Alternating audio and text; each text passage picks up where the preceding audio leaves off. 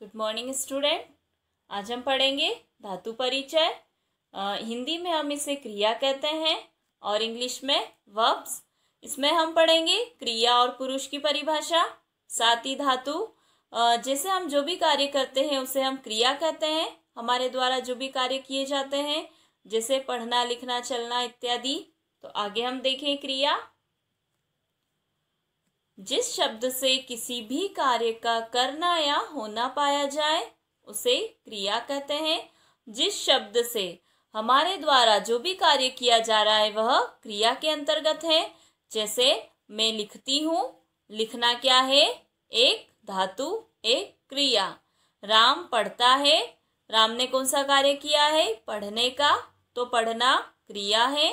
साथ ही तुम सभी आते हो, तुम सभी जाते हो। आना और जाना क्रिया, तुमने बोला, तुमने बताया, तुमने किया, ये सारी क्रियाएँ हैं। तो जिस शब्द से किसी भी कार्य का करना, जैसे हमें कोई कार्य करना है तो उसके लिए कोई भी कार्य बोला जाता है, आप पढ़ो, आप लिखो, आप चलो, आप जाओ, आप आना, आप मत आना, है ना? ये सारे जो शब्द बोले जाते हैं, ये सब क्रिया है, जिससे कि हम कार्य करते हैं, वो क्रिया को दर्शाती है। और वही हम संस्कृत में धातु के रूप में प्रयोग करते हैं, जैसे पठ के लिए पढ़ना, लिखने के लिए लिख, चलने के लिए चल, इस प्रकार से। जैसे देखिए, लिखना, करना, बोलना आदि। भाषा में इन क्रियाओं का ज्ञान कराने वाले शब्द। हिंदी भाषा में हम समझ गए कि जो भी हमारे द्वारा कार्य किया जाता है, उसे हम क्रिया कहते हैं। चलना, पढ़ना, लिखना जो भी है लेकिन संस्कृत भाषा में हम इसे कैसे जानेंगे? धातु रूप के माध्यम से। यदि आपको कहा जा रहा है पढ़ना तो आप इसके लिए कौन सी धातु यूज़ करेंगे? पट। आपको बोला जा रहा है बोलना। उसने बोला तो आप इसके लिए धातु रूप यूज़ करेंगे वध तो संस्कृत भाषा में हम धातु के माध्यम से इन क्रियाओं को जानेंगे। तो संस्कृत भाषा में इन क्रियाओं का ज्ञान कराने वाले शब्द को धातु कहा जाता है। तथा इनके विभिन्न प्रयोगों को धातु रूप कहा जाता है। यदि हम पूरा प्रयोग करते हैं तीनों वचन में, तीनों पुरुष में तो वो पूरा चार्ट जब बनता है तो वो क्या कहलाता है? धातु रूप जैसे उदाहरण देखिए, लिख एक धातु रूप है है ना? लिखना, आप हिंदी में बोलते हैं, मैंने लिखा, लेकिन आप संस्कृत में क्या करेंगे, क्या लिखेंगे? मैं मैं के लिए आता अहम तो अहम लिखामी मैं लिखता हूँ, मैंने लिखा लाइक like दिस आगे देखते हैं हम। तीनों वचनों में धातुओं के रूप अलग अलग होते हैं। तीन वचन होते हैं, एक वचन, द्विवचन, बहुवचन, है ना? तीनों ही वचन में हम धातु अलग अलग यूज़ करते हैं। लिंग परिवर्तन से धातु रूप में कोई भेद नहीं होता है। पुरलिंग और स्त्रीलिंग में धातु रूप सेम चलती है। केवल प्रथम पुरुष के तीनों वचन में और तीनों ही लिंग अलग अलग होते हैं। पुरलिंग, स्त्रीलिंग और नपुसकलिंग। ये भी हम आगे पढ़ेंगे, किस प्रकार से आपको इसका चार्ट बनाना है। आगे देखते हैं हम। एक ही धातु का काल तथा कर्ता के अनुसार विविध प्रकार के उपयोग किए जाते हैं, जैसे एक ही धातु का काल है। काल अर्थात समय तथा कर्ता के अनुसार विविध प्रकार के उपयोग किए जा सकते हैं। जैसा हम कर्ता लेंगे, वैसी ही हमारी क्रिया होगी। देखते हैं हम आगे। पुरुष, शब्द के जिस रूप से कहने वाले, सुनने वाले, या जिसके विषय में कोई बात की जाए, या उसका बोध हो, उसे हम पुरुष कहते हैं। शब्द के जिस रूप से, यानी कि कोई भी शब्द, प्रथम पुरुष, मध्यम पुरुष, उत्तम पुरुष। पुरुष से ये मतलब है यहाँ पर, इसका मतलब क्या है पुरुष का? प्रथम पुरुष, मध्यम पुरुष, उत्तम पुरुष। संस्कृत में तीन पुरुष होते हैं।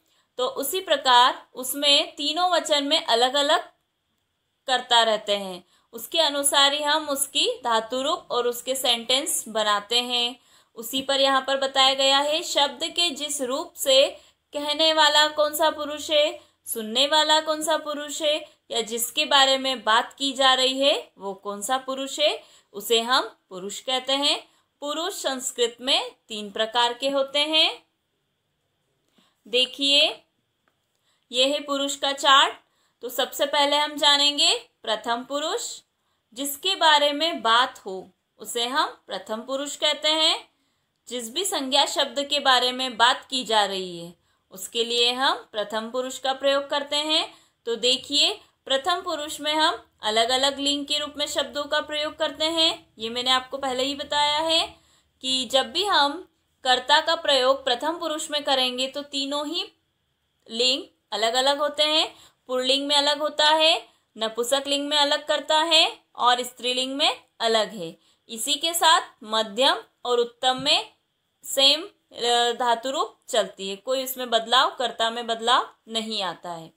तो देखिए, एक वचन में आता है पुरलिंग में, सह, द्विवचन तो और बहुवचन, ते। सह तो ते। इसका हिंदी अर्थ है, वह वे दो वे सब ठीक है? स्त्रीलिंग में हम वह के लिए यूज़ क्या करेंगे? सा, और वे दोनों के लिए ते वे सब के लिए ताह। सा, ते, ताह।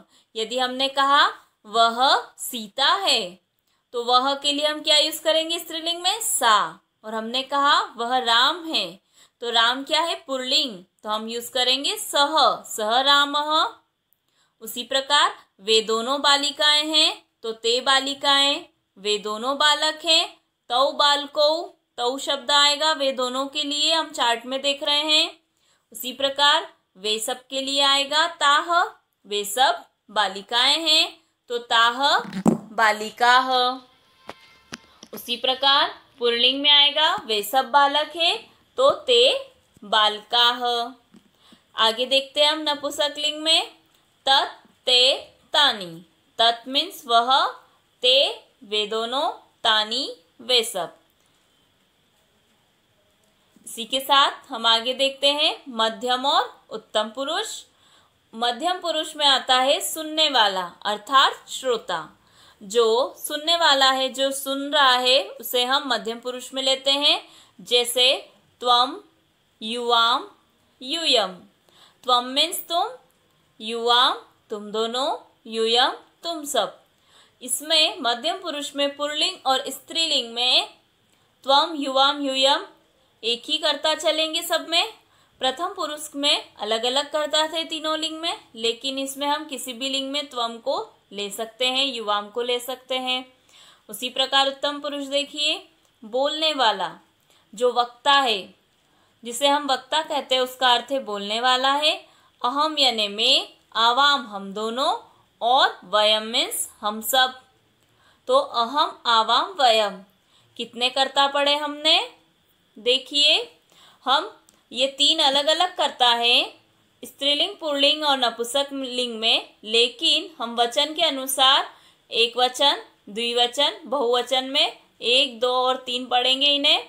सह तो उते तीन हुए ये।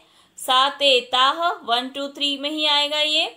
उसी प्रकार मध्यम पुरुष के कर्ता हो गया। चार, त्वम, युवाम, फाइव, युयम, सिक्स, अहम, सेवन, आवाम, एट और वयम, नाइन। नो करता है। तो उसी प्रकार धातु रूप भी नो होती है। जिस कर्ता को हम ले रहे हैं, जिस नंबर से हमने कर्ता लिया है, उसी नंबर की हम क्रिया का प्रयोग करते हैं। आगे देखते हैं हम, धातु रूप को पढ़ते हैं। देखिए पिक्चर में, बालक बुक पढ़ रहा है। तो पढ़ने के लिए कौन सी धातु यूज़ करेंगे? आपको क्रिया समझ में आ रही है। बालक बुक पढ़ रहा है, किताब पढ़ रहा है। पढ़ना एक क्रिया है। लेकिन संस्कृत में हम कैसे जानेंगे? इन क्रियाओं का बोध कराने वाले शब्द क्या कहलाते हैं? धातु। जस्ट अभी हमने डेफिनेशन पढ़ी है। तो क्रियाओं का बोध कौन करा रहा है? पिक्चर के माध्यम से हमें यहाँ पर पता चल रहा है या सेंटेंस के माध्यम से हम जानेंगे। तो पढ़ना एक क्रिया है, लेकिन संस्कृत में हम यूज़ करेंगे पट, और इसके रूप चलते हैं पठती में। उसी प्रकार आगे देखिए, एक बालक चल रहा है, चलना भी क्रिया है और संस्कृत में हम यूज़ करते हैं, चल, उसके रूप चलते हैं, चलती। उसी प्रकार नेक्स्ट पिक्चर है, लिखना। लिखना भी एक क्रिया है, और उसके रूप चलते हैं, लिख। और इसके रूप चलेंगे, लिखती, इसकी धातु है, लिख।